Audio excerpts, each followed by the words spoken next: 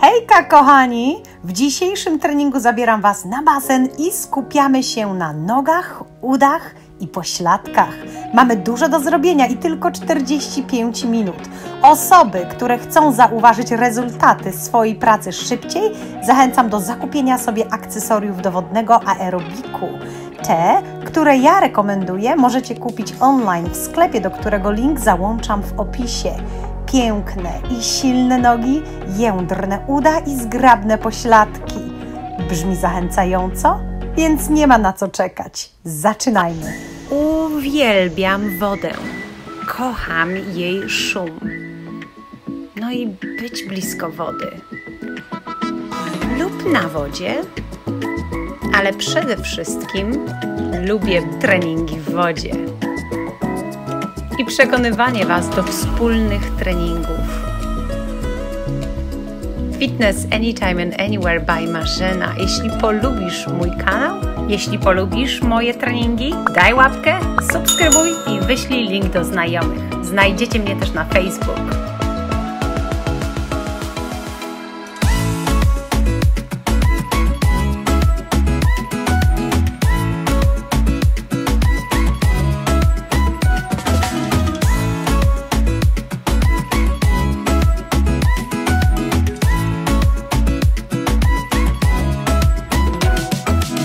Jak jesteście gotowi na trening? Mam nadzieję, że tak, bo zaczynamy. No i zaczynamy zgodnie z tradycją od rozgrzewki. Kochani, będzie to taki jogging. Wysoko unosimy kolana do góry, rozgrzewamy stawy skokowe, no i w ogóle calusieńkie nasze ciało. Także aqua jogging. Ja nie lubię używać żadnych przyborów podczas rozgrzewki, także nie mam rękawiczek, nie mam żadnych nakładek na nogi, jeszcze nie. Natomiast osoby, które lubią ćwiczyć w specjalnym obuwiu do wodnych ćwiczeń, jak najbardziej możecie sobie już buciki założyć. Wysoko unosimy kolana, Możecie się oczywiście przemieszczać w prawo, w lewo, obracać, a ja w międzyczasie namówię Was do tego, że koniecznie chcecie sobie zakupić takie hantelki, nakładki na kostki do wodnego aerobiku. Uwaga, nie są to hantelki, które są ciężkie, tam nie ma żadnych ciężarków, tam są specjalne wkładki wypornościowe, także one praktycznie nic nie ważą. Może wyglądają jak te do ćwiczeń na macie, ale są zupełnie inne i tylko i wyłącznie ta firma i te to, to jest coś, co Wam polecam. One można je sobie tak specjalnie docisnąć do swojej kostki. W ten sposób one pozostają cały czas tam, gdzie sobie je przypniecie, a nie tak jak te inne, które używałam poprzednio, ciągle gdzieś tam się odpinały, skakały w górę, w dół i były naprawdę irytujące. Także załączam link. Mam nadzieję, że sobie właśnie takie sprawicie. Na pewno nie będziecie żałowali. Uwaga, krok do boku, pięta w tył, czyli heel back. To jest ćwiczonko, które praktycznie zawsze wrzucam do naszych rozgrzewek, bo ono nam fajnie rozgrzewa tylną część uda. No i potem te nasze kopnięcia i właściwie różnego typu e, ćwiczonka, które dzisiaj będę Wam pokazywała, będą skuteczniejsze i też bezpieczniejsze. Widzicie krok i pięta w tył, taki wymach Oczywiście cały ten trening możecie jak najbardziej spróbować najpierw bez jakichkolwiek nakładek. E, te nakładki naprawdę sprawiają, że każdy ruch jest dwa, jeżeli nie trzy razy trudniejszy. Także e, osoby początkujące myślę, że musicie poczekać troszeczkę, żeby się wzmocnić, bo te nakładki są dość duże i tam jest tylko jeden rozmiar, także musicie być na nie gotowi.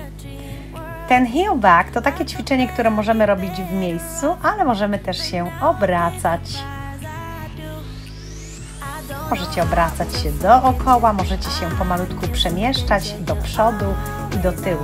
Zobaczcie, jak wysoko unoszona jest tutaj pięta. Właściwie chcecie sobie prawie zafundować kopniaczka w tyłek w ten sposób. Wtedy na pewno wiemy, że te mięśnie z tyłu pracują brzuchy wciągnięte, jest to istotne, bo to Was będzie powstrzymywało od nadmiernego zaokrąglania, odchylania, wyginania odcinka lędźwiowego kręgosłupa.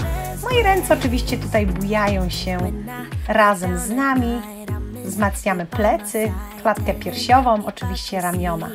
Pomalutku krok i pięta w tył. Ten trening to część pierwsza.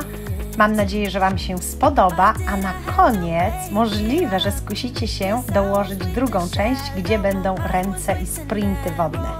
Uwaga, teraz dodajemy naskok na boki. Widzicie, jest to naskok i znowu pięta w tył. Naskok i pięta w tył. Teraz ruch zaczyna się od palców, czyli najpierw dno basenu dotkną palce stopy, a dopiero potem pomalutku opada pięta ten sposób.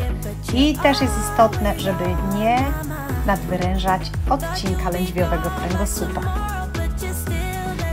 Takie skoczki do przodu, no i oczywiście możecie też przemieszczać się w tył. Przepychamy tą wodę. Cały czas chcecie czuć, że ta woda Wam ćwiczenie utrudnia i sprawia, że jest ono bardziej efektywne. I troszeczkę ruchu w tył. Zobaczcie, ręce najpierw rozchlapują wodę, przepychają ją w tył, a potem tak jakby zagarniamy do przodu.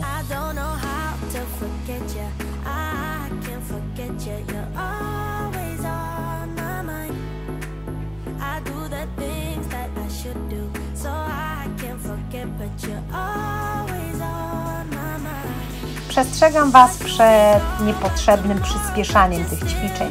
Ruch ma być na tyle szybki, żebyśmy czuli ten opór wodny, ale zasięg ruchu jest też niezmiernie ważny. Czyli nie chcecie, żeby te ćwiczenie w ostateczności było mega szybkie, ale też takie połowiczne. Nie o to chodzi. Uwaga! Heel back repeaters, czyli takie powtórzenie. Zobaczcie, tak jakbyście zamarzli, zacięła się płyta i wy wykańczacie tylko tą ostatnią część tego ruchu, czyli pięta w tył i w dół i zmiana. Zróbcie około 8 na prawo, a potem lewa.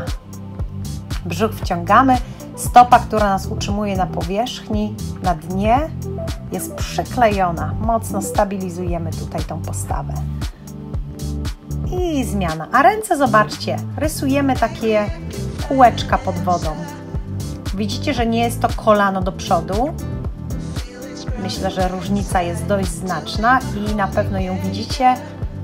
Na pewno to odczujecie w wodzie. Mocno otwieramy tutaj ręce, przepychamy tą wodę. Klatka piersiowa uniesiona. Pamiętajcie, żeby się nie pochylać niepotrzebnie do przodu. Tak troszeczkę, jak najbardziej, ale nie za dużo. Uwaga, kolejne ćwiczenie to takie twisty w kierunku pięty lub przeciwległego kolana. Zależy od Waszej gibkości. Jeżeli dacie radę unieść nogę tak wysoko, że dotkniecie piętę po wewnętrznej stronie, to fajnie. A jeżeli nie, to kierujemy dłoń do kolana.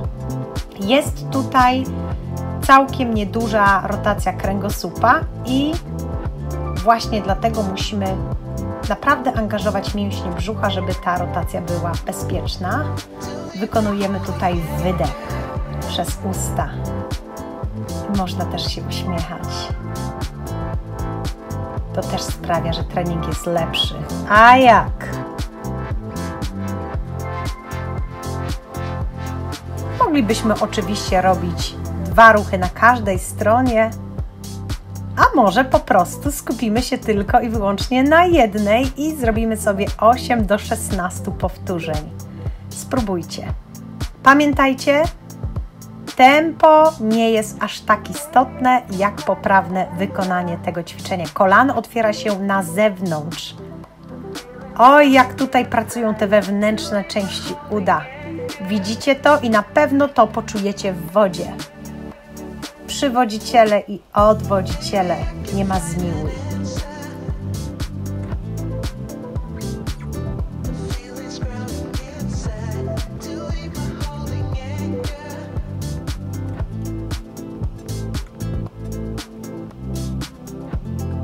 plecy proste, szyja długa, ramiona w tył. Rotacja, rotacja. Cały czas kombinuj, kombinuj.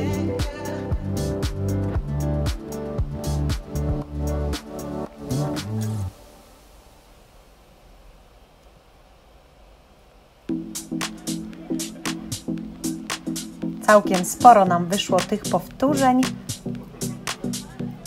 Pamiętajcie, żeby sobie liczyć i zmienić stronę, wykonać najpierw na zmianę prawa-lewa, a w ostateczności oczywiście będziemy powtarzali drugą stronę i musimy pamiętać, ile tego było. Czasem dobrze jest wykonać 8 właśnie do 16 i potem sobie zmieniać, bo no jednak czasami możemy zapomnieć, jeżeli fundujemy sobie dłuższą serię. Jeszcze parę razy na zmianę prawa, lewa. Możecie tutaj dodać sobie ruchu i znowu powtórzenia. Czyli ta sama strona. Piękny wydech, głośny, słyszymy go, czujemy jak te mięśnie głębokie, te, które są przyklejone do kręgosłupa. Te teraz chcecie odczuwać. Zobaczcie, jak mocno tutaj woda przepycha, przepychana jest dłonią. Połączcie opuszki palców.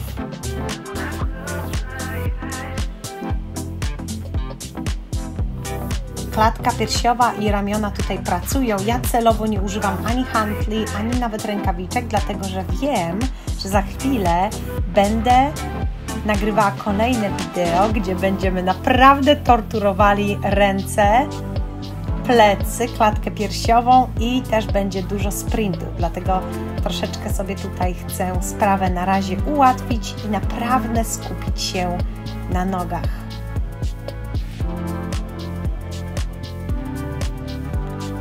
Te hantelki na kostkę uwielbiam i lubię je o wiele bardziej niż właśnie te z obciążnikami, które możemy stosować na siłowni, na macie, ponieważ tamte mm, obciążają tak jakby staw biodrowy. I ja osobiście zawsze nie tylko odczuwałam dyskomfort w odcinku lędźwiowym kręgosłupa, ale właśnie w biodrach. A te w ogóle jest fantastycznie. Kolejne ćwiczenie, słuchajcie. Rocking horse bez naskoku, czyli taki bujany konik, zobaczcie. Krok, ugięcie nogi w kolanie, czyli pięta w tył i kolano w górę, czyli lewe kolano ugięte, prawe kolano w górę, czyli wzmacniamy pośladki, mięsień dwugłowy uda, a potem unosimy kolano wysoko, przyciągnij je do klatki piersiowej. Tutaj troszeczkę się tak bujamy, ale zaznaczam jeszcze raz, nie ma tu naskoku. Woda jest rozchlapywana na zewnątrz i do środka. Ten naskok za chwilę się pojawi, już się pojawił, także dziękuję, że byliście cierpliwi.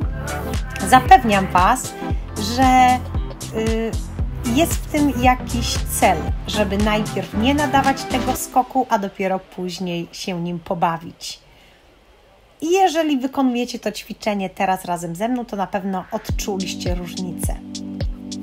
Chcę, żeby był w tym treningu duży wachlarz właśnie różnych y, ćwiczeń. Uwaga, możemy dodać kopnięcie w przód i znowu pięta w tył, czyli kopniak do przodu, pięta w tył.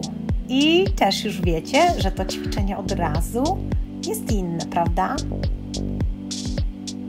Jest dobrze. Ten kopniak musi być naprawdę wysoki i mocny.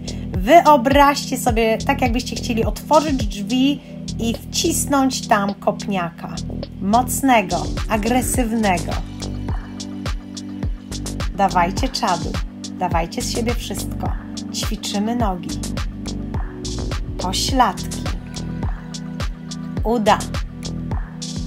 Na te rezultaty trzeba sobie naprawdę pracować regularnie.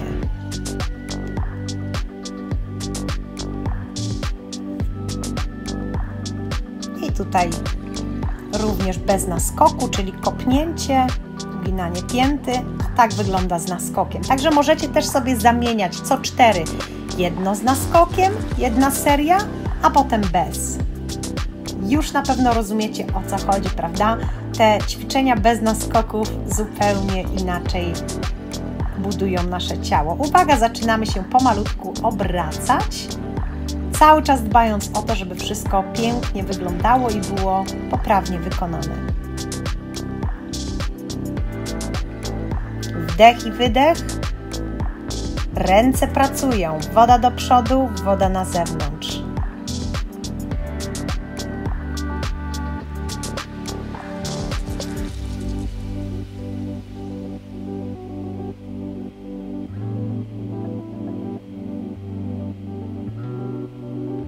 I słuchajcie, przerwa na łyczka wody, troszeczkę sobie pojoggingujcie, a za chwilę będziemy oczywiście powtarzali całą serię na drugą stronę, czyli zaczynamy od tego konia bujanego, rocking horse, bez naskoku, potem dodamy naskok, potem dodamy kopnięcie, a ostatecznie naskok przed kopniakiem. I to sprawi, że zbudujemy mocną prawą i lewą stronę. Dajcie z siebie wszystko, wiecie co robić, a ja za chwilę do Was powrócę z kolejnymi ćwiczeniami.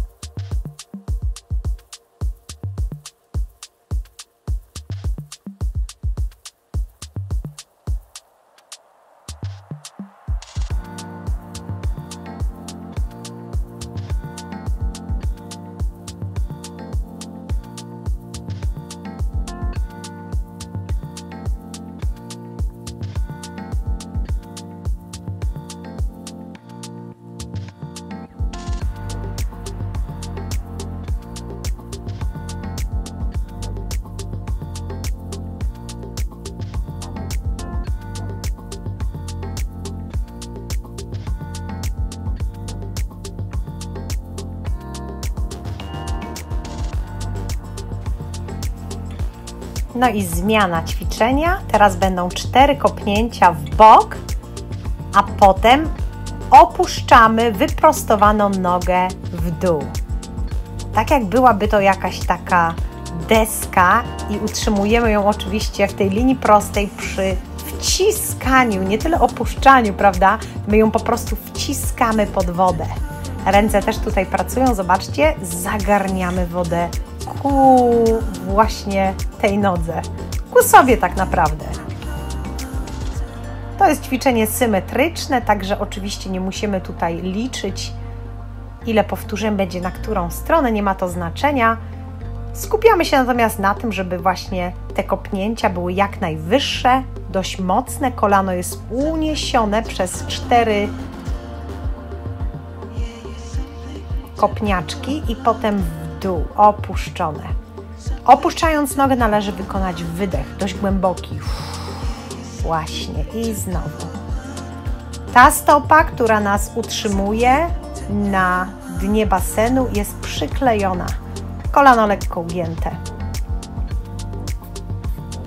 Tempo jest tak jak poprzednio, takie średnie, umiarkowane.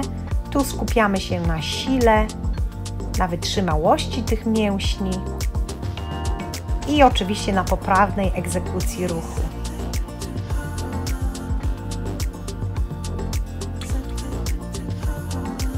Mięśnie brzucha zaangażowane. Tutaj troszeczkę te ręce odchylają się od naszego ciała i no musimy ten nasz kręgosłup, te mięśnie głębokie tutaj wspomagać właśnie tą świadomością, że trzeba wtedy mięśnie brzucha celowo angażować.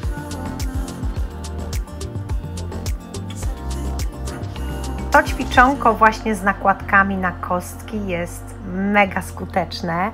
Bez e, jest dobre, ale na pewno różnica pomiędzy użyciem tych nakładek a nie jest kolosalna. W tym ćwiczeniu przede wszystkim jest to praktycznie inne ćwiczenie, wręcz bym powiedziała. I słuchajcie, unoszenie wyprostowanej nogi do przodu na zmianę prawa, lewa. Znowu tutaj unikamy kopnięć, jest to uniesienie nogi. Bardzo trudne ćwiczenie. Zobaczcie, jak tutaj ręce wspomagają ten ruch. Można przytrzymać się jedną dłonią ściany basenu, jeżeli na przykład te mięśnie jeszcze są zbyt yy, słabe i to ćwiczenie sprawi Wam trudność, no to przede wszystkim obniżacie to uniesienie, prawda? Robimy mniejszy zakres ruchu, ale drugą opcją jest też właśnie przytrzymanie się ściany basenu. Natomiast w momencie, kiedy mięśnie są już na tyle rozwinięte, że możemy to wykonać właściwie w każdym punkcie, no to mamy możliwość pracy rąk i to też wzmacnia klatkę piersiową i mięśnie pleców. Tu też bardzo ćwiczą pośladki, mięsień czworogłowy, głębokie warstwy mięśni brzucha.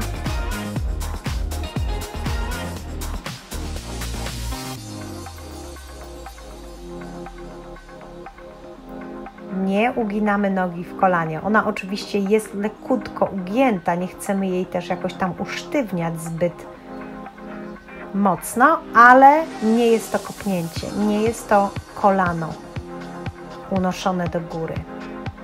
To wszystko już mieliśmy i jeszcze mieć będziemy, a teraz chcemy coś zupełnie innego.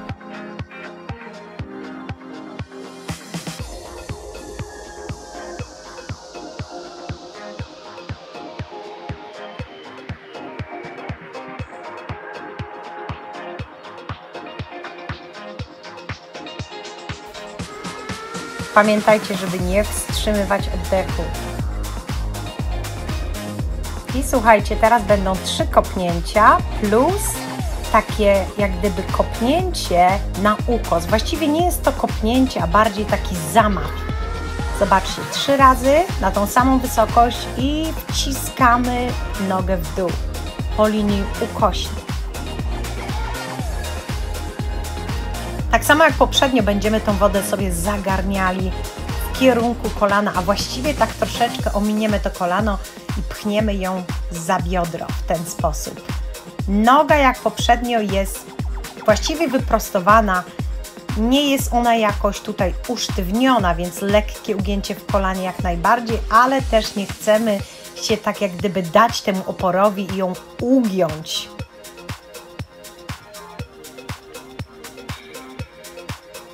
Tym ćwiczeniu szczególnie czuć, jak właśnie przywodziciele muszą sobie radzić z tym oporem.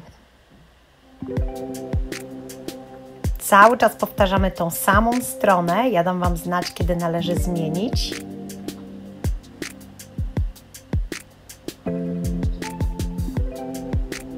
Stopa jest ugięta, czyli palce ku sobie. Mocny wydech podczas tego zagarniania.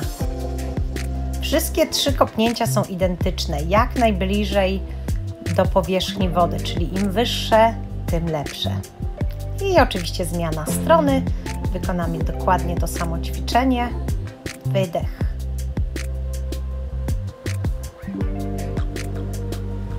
Zauważcie, nie ma tu absolutnie żadnych podskoków.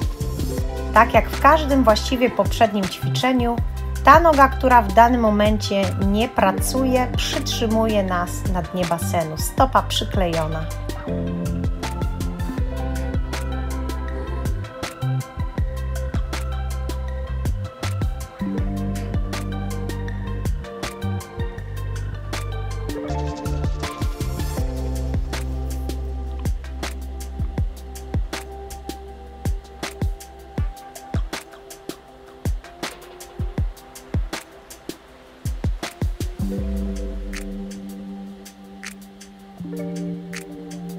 Ja tutaj wykonuję delikatne skręty, obroty, ale robię to tylko po to, żebyście wszystko lepiej widzieli.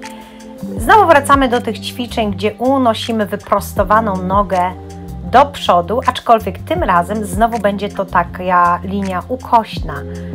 Ja nazywam to takie uniesienia V, czyli poprzednio szliśmy po linii prostej w górę i w dół, a teraz troszeczkę to biodro jest otwarte w kierunku na zewnątrz. I też tak jak poprzednio, jeżeli to ćwiczenie sprawia Wam trudność, można oczywiście plecy oprzeć sobie o ścianę basenu lub jedną ręką się przytrzymać, albo po prostu zmniejszyć zakres ruchu. Błędem byłoby tutaj, tak jak poprzednio, uginanie nogi w kolanie. Noga wyprostowana jest to trudne ćwiczenie. Może obserwując je, może dziś tylko oglądacie ten trening, to wydaje się proste, ale zapewniam Was, że jest to jedno z najtrudniejszych ćwiczeń.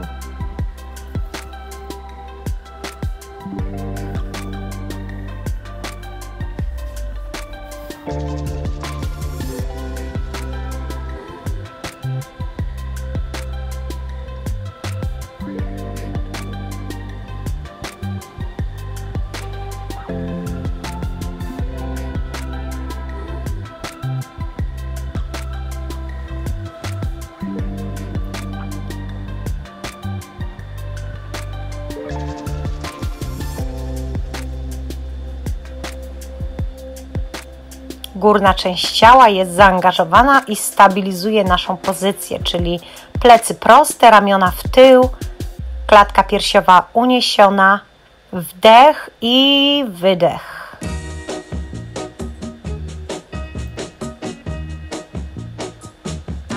tell you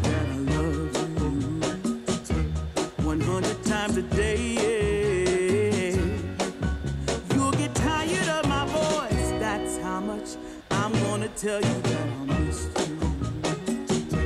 I'll miss you if you. Zawsze, kiedy robię takie ćwiczenia, gdzie właśnie skupiam się na dolnych częściach, cały czas coś kombinuję z rękami, żeby jednak coś się działo. I słuchajcie, teraz będą hantelki, y, ale jest to opcja. Pokażę Wam wersję naprawdę zaawansowaną. Mam w ręku hantle wypornościowe i mam też te nakładki i muszę Wam powiedzieć, że te nożyce gdzie unoszę się na basenie z hantelkami, jednymi, drugimi, jest dla mnie mega trudne. Zwłaszcza, że cały czas wracam do zdrowia po moim urazie, nie byłam w stanie kontynuować. Dlatego ostatecznie dla wielu osób y, sugeruję odłożyć hantle i teraz będziecie mieli dwie opcje. Albo y, zdecydować się albo na hantle, te na nogach, albo te na rękach, albo dłonie oprzeć sobie o ścianę basenu i kontynuować z tymi handlami, które mamy na nogach, prawda? One już sprawiają, że to ćwiczenie jest trudne i teraz fakt, że możemy się przytrzymać ściany sprawia, że mamy o wiele lepszą kontrolę nad poprawnością tego ruchu i też prędkością tego wciskania nóg. Natomiast jeżeli chcielibyście zrobić na odwrót i na przykład zdjąć sobie teraz te handle na nogach, albo ich nie macie w ogóle, Wtedy możecie używać jak najbardziej hantelki, yy, złapać w dłonie hantelki właśnie te do, na górną część ciała i sobie próbować. A tutaj wersja bez przyborów w oparciu o ściany, czyli właściwie bez niczego. Da się? Da się. Wszystko się da, trzeba kombinować, trzeba próbować i też zawsze, zawsze zachęcam Was do tego, żeby ciągle eksperymentować i zmieniać ćwiczenia. Nawet jeżeli to z handlami będzie Waszym ulubionym, zmieniajcie od czasu do czasu. Pamiętajcie, że nasze ciało w pewnym momencie męczy się nawet od tych dobrych ćwiczeń, od tych najlepszych. Musimy je ciągle zamieniać, żeby się po prostu niepotrzebnie nie przesilić, nie nadwyrężać aż tak. Tu jest ta sama wersja znowu z nakładkami. Ja Wam przyznam, że po zakończonym treningu z nakładkami naprawdę mam dość. Akurat dzisiejszego dnia nagrałam dwa treningi, więc były to jeszcze sprinty i ćwiczenia na ręce, plecy, klatkę piersiową. Mam nadzieję, że klikniecie na to drugie wideo, albo może odłożycie je sobie na kolejny dzień.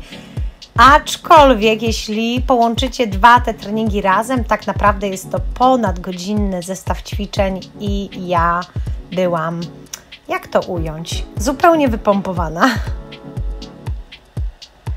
Także ćwiczenia w wodzie naprawdę, naprawdę są fantastyczne.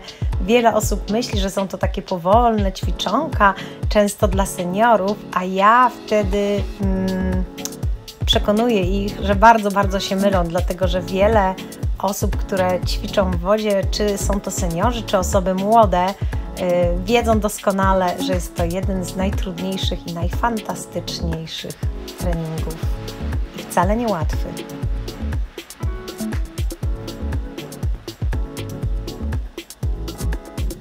daje Wam tutaj bardzo dużo czasu, żeby się tym ćwiczeniem nacieszyć. Ja lubię też taką wersję, gdzie nie dotykam dna basenu podczas wykonywania nożyców, czyli 8 razy nogi się unoszą, a 8 razy jedna stopa dotyka dna basenu. Spróbujcie, jak ta opcja Wam się podoba. No i słuchajcie, nadszedł czas odłożyć te nakładki. Ja lubię je odłożyć przed y, stretchingiem i też lubię je czasem wywiesić, żeby troszeczkę zaczęły już y, przesychać, żeby były suche, kiedy je wrzucę do samochodu.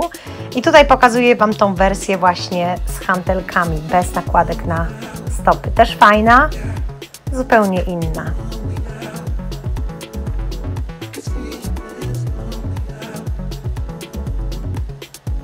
Zobaczcie, ile jest możliwości. Także jakiekolwiek macie przybory w domu, przynoście je na zajęcia, urozmaicajcie swoje treningi. Są to rzeczy bardzo niedrogie, lekkie i warto je mieć, warto, bo jest to naprawdę mała inwestycja w swoje zdrowie. Ja tak na to patrzę. No i też w dobry humor, bo przecież jak mamy dobry trening, to też później mamy dobry humor, prawda? Też tak macie, czy to tylko ja?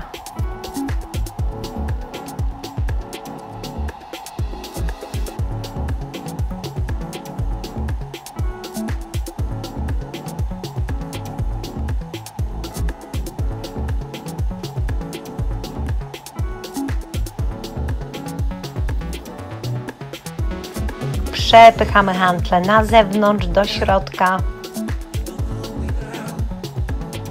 próbujemy włączyć do pracy tutaj górną część ciała, ale nie dajcie się zwariować. Pamiętajcie, mieliśmy się skupić na nogach przede wszystkim. Trudno się powstrzymać, prawda?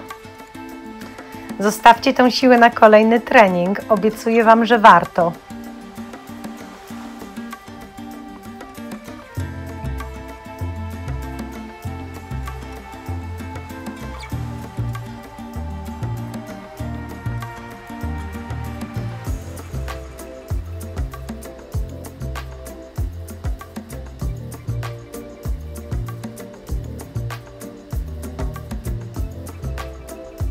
Właściwie, właściwie w dzisiejszym zestawie ćwiczeń jest tak wiele powtórzeń, że gdybyście chcieli powtórzyć każdą z tych części, z tych opcji, które Wam pokazałam, to dalej jest wystarczająco czasu, prawda? Na pewno możemy te wszystkie spróbować. A teraz zobaczcie nożyce boczne i też będzie tutaj kilka opcji. To jest ta wersja z hantelkami dla osób, które czują się troszkę swobodniej unosząc na wodzie. Oczywiście liczymy, ile uda nam się wykonać na jedną stronę i potem kopiujemy wszystko na drugą stronę. Jeśli nie macie hantelków, to od razu Wam zdradzę sekret, że można to ćwiczenie zrobić przytrzymując się ściany basenu i za chwilę tą opcję też zobaczycie.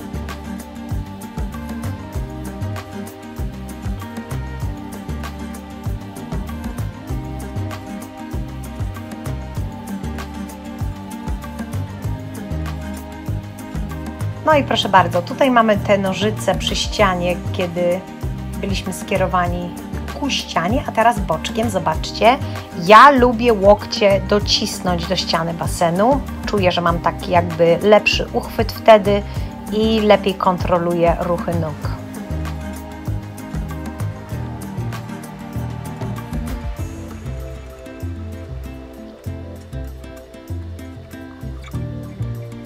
Cały czas przepychamy nogi po linii prostej do tyłu. I oczywiście zmiana strony. Stronę możemy zmieniać poprzez naskok na dno basenu i zmiana lub możemy po prostu podkurczyć kolana ku sobie i bez dotykania dna basenu po prostu zmienić stronę. To jest z pewnością już taka wersja no, troszeczkę trudniejsza. Też myślę ciekawsza.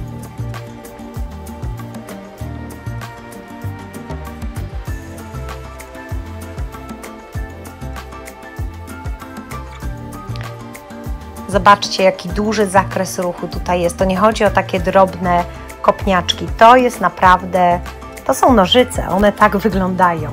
Duże nożyce. Fantastyczne ćwiczenie.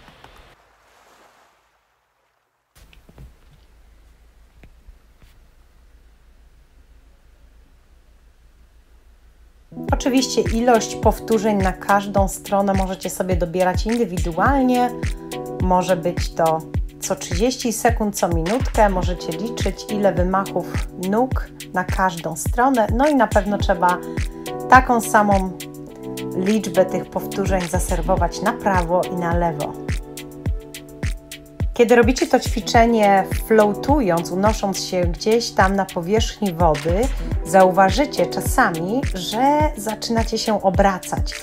Oznacza to, że któryś, któraś część tego ruchu jest u Was y, silniejsza. I w momencie, kiedy zaczniecie, kiedy wyczujecie, czy ta część przednia, czy tylna Waszych nóg ma większą siłę, będziecie mogli to wyrównać. W ostateczności jeśli jesteście w stanie zrobić te nożyce i utrzymać się w jednym punkcie, to właśnie oznacza, że przód i tył waszego ciała pracują tak samo dynamicznie, z taką samą siłą, i to jest coś, co chcemy w końcu osiągnąć. Natomiast czasami należy dobrać właśnie wersję do naszej sprawności. Ta wersja na pewno, gdzie przytrzymujemy się ściany, jest dla wielu osób y, właśnie preferowaną na początek, a potem odważycie się nieco oddalić. To ćwiczenie możemy wykonać z handlami, można wykonać z rękawiczkami, wtedy oczywiście włączamy wymachy rąk również można też zrobić to z tym wałkiem basenowym. Akurat tej wersji Wam w dzisiejszym ćwiczeniu, w dzisiejszym treningu nie pokazałam, ale osoby, które już ze mną ćwiczą, na pewno widziały y, tą opcję wielokrotnie.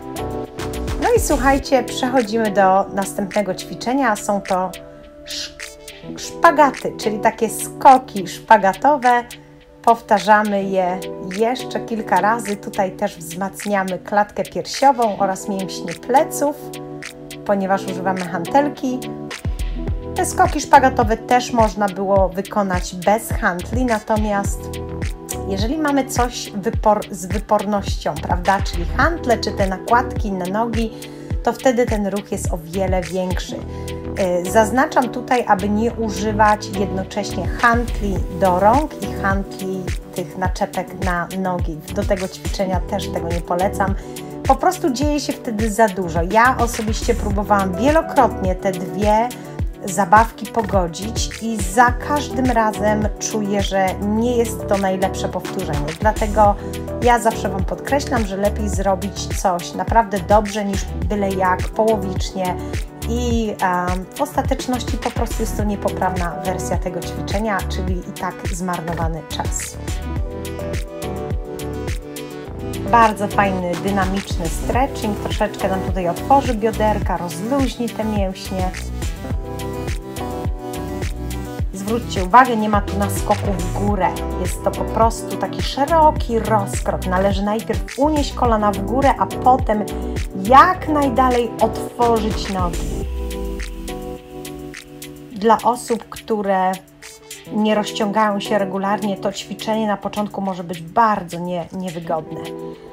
A to jest troszeczkę prostsza wersja. To są takie y, skoki żabie można oczywiście te ćwiczenia sobie dozować zamiennie. 8 takiego, 8 y, skoków żabich, potem szpagatowych, a można też powtarzać każde z nich minutkę, dwie minutki. Te ćwiczenia bardzo często będzie widać w końcowych częściach treningu, kiedy już mięśnie są rozgrzane i nasza gibkość o wiele lepsza.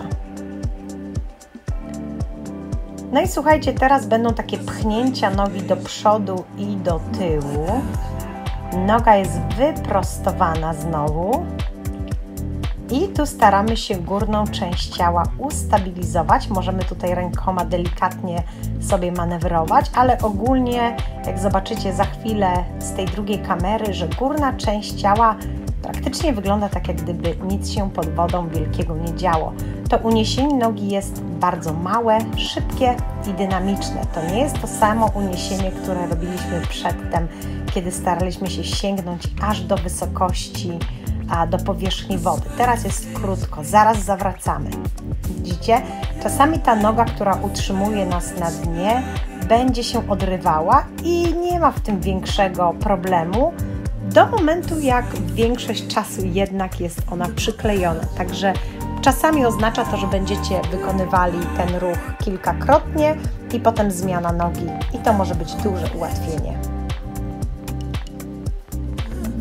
Tutaj też, jeżeli nie chcecie zwracać uwagę na, na zegarek, po prostu wykonajcie sobie to ćwiczenie 8-16 razy na każdą stronę. Natomiast osoby, które jednak śledzą cały trening, muszą patrzeć na zegarek i co 30 sekund, co 60 zmieniać. No chyba, że ćwiczycie razem ze mną, to wtedy ja to wszystko staram się za Was rozliczać. Ja Was rozliczę z tych ćwiczeń.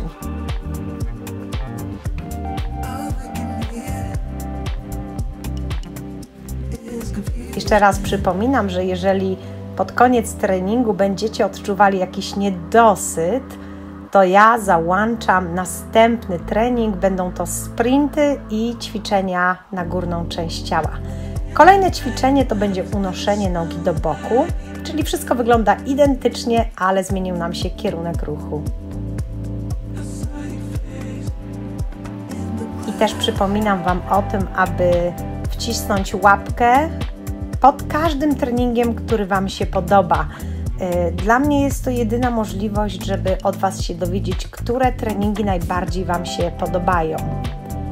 I takie będę dodawała. Y, musi być 100 łapek, 100 lajków, żeby powstała kolejna część. To jest nowy taki pomysł na to, żeby właśnie nie marnować czasu na ćwiczenia, które Wam się nie podobają, których większość nie lubi. Oczywiście dalej czekam na Wasze sugestie, na Wasze podpowiedzi. E, ja wszystkie komentarze czytam, bardzo często też na nie odpowiadam. Natomiast e, jeżeli nie chce Wam się e, jakoś mm, już pisać tego wszystkiego, to po prostu wciskajcie łapkę na te ćwiczonka, które lubicie, na te treningi i sprawa będzie jasna.